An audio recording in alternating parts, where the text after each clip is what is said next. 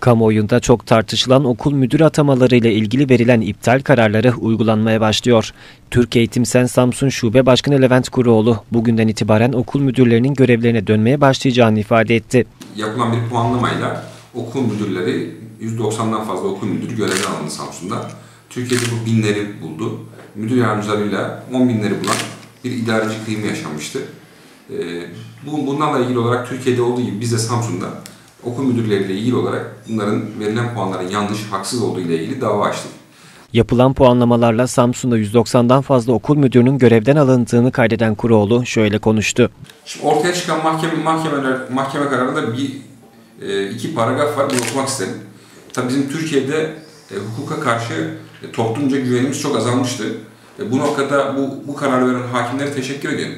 Devletin hukuka, adalete karşı olan e, sarsılan güven, güven, güvenimizi tekrar tesis, tesis ettiler bu hakimler.